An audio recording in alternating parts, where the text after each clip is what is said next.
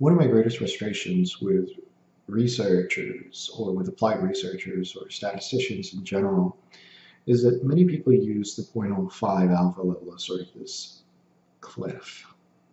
And for practical reasons, I understand why we've selected a sort of decision point as far as making decisions a priori before we actually implement an investigation or an analysis of anything. But to me, all of that should be individualized. What I mean by that is that any sort of analysis as to the significance of a particular variable or a particular characteristic on an outcome should be contingent upon the overall totality of that particular variable. And what I mean by that is that oftentimes we assume that some particular characteristic or variable is so pertinent to a particular investigation that we must have very stringent tests of, or very stringent alpha levels. And of course, the more strict you are on the alpha level and setting the parameters on that front, the greater the likelihood that you're going to fail to reject the null hypothesis. That, of course, has the result of non-significance. But bear with me for a second. Imagine we're caught in a situation where the potential price or cost to the implementation of some sort of program or change or policy development is significant. It's so significant, it's going to cost more than a million dollars to implement this new program or policy or intervention. Then I suspect that having a more strict alpha level makes sense because of the amount of investment that's going to be required to ensure that that particular uh, intervention works. However, if your intervention is not going to cost you time, or that much time, or it's not going to cost you that much in terms of money or any available resources, and having a very strict alpha level is probably not your best bet.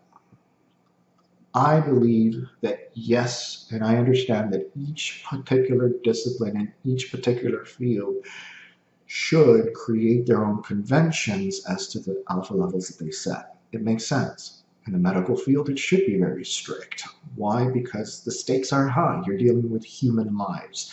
You're dealing with whether treatments are going to have the, intended effect that you want it to have but perhaps it also has unintended side effects, or intended side effects for that matter.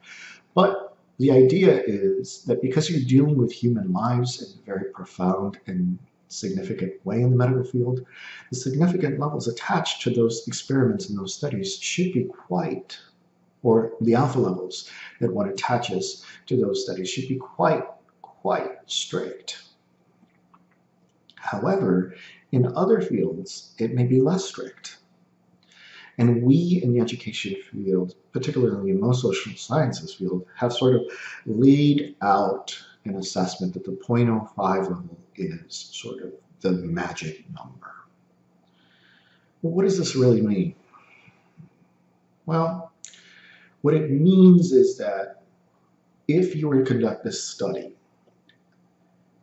a hundred times a hundred times you would receive the same result of statistical significance, but in fact, five of those times, the result or the effect is not a real effect.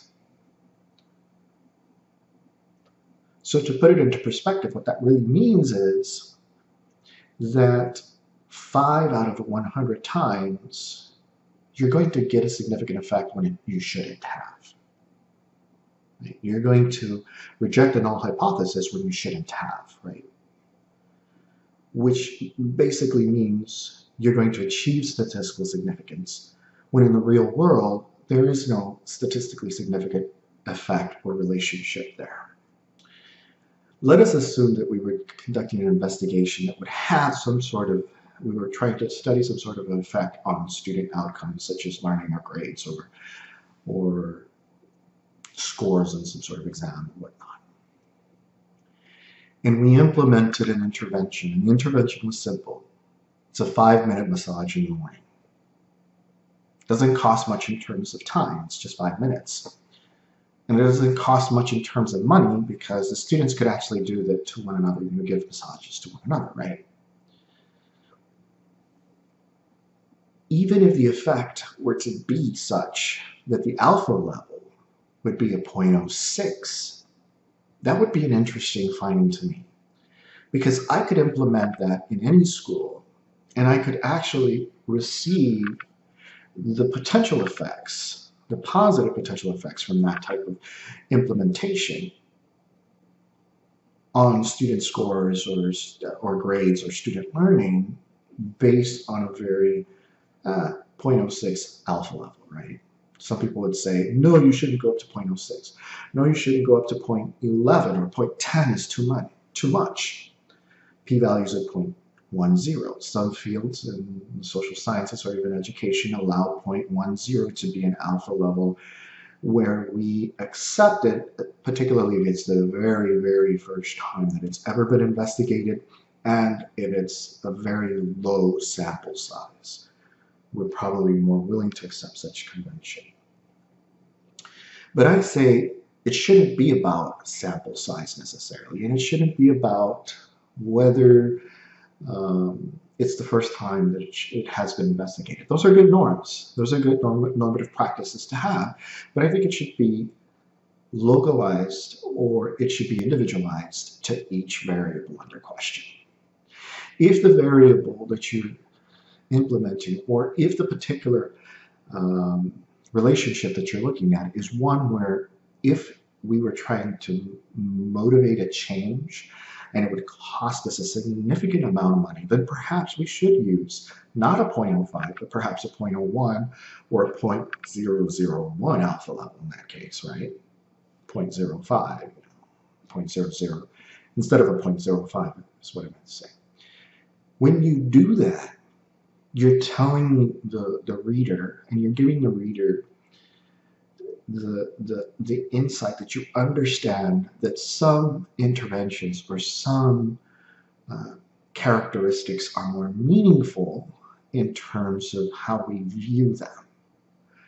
And in other cases, you know, a point 15, that means that 15 out of 100 times I'm going to be wrong.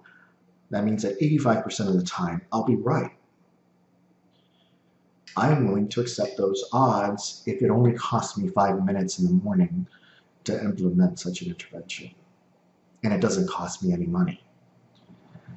This is the sort of, this is my concern with many applications by most social scientists and by most statisticians or applied data analysts that have been doing this type of work is that their focus has been exclusively on the conventions of the, of the statistical significance levels that are typical in their own disciplines or fields. And that's a very, very warranted uh, explanation. It makes sense because, again, if you're, if you're going to be publishing research, you're publishing to an audience based largely with social scientists or applied data analysts or applied researchers in that particular field or discipline. And so you need to speak to that audience, correct? But I think that the application of the alpha level in, in, to be uh, special, specific to each separate variable or each individual variable to be different based on what you think is important or what you think it would cost in terms of money, time, and resources to have in, uh, some sort of program or policy or intervention um, or to implement such a program policy intervention and whatnot. I think it should be specific to the particular uh, variables, and it shouldn't be, oh, well, we're just going to choose 0.05 because that's what I want it to be 0.05, because that's a conventional practice in the field. Um, and to some extent, that's why I use, in many of my publications, uh, I typically have tried to use what is varied levels of, of p-value uh, specifications or production results with various varied uh, numerical p-values, right?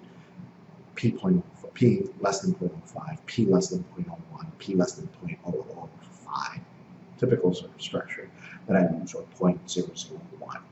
It's usually three levels. On occasion, I'll use a p-value less than 0.10, but again, I allow the researcher or the reader to make his or her own inferences, hoping that he or she is astute enough as a reader to understand what are the sort of implications of the varied notions of significance or alpha level detection. Um, and so for me, this is one of the things that has been sort of a contentious issue, uh, something that sort of sparked a little fire under me uh, for a while uh, in terms of the statistical significance level. And it's frustrating uh, to some extent.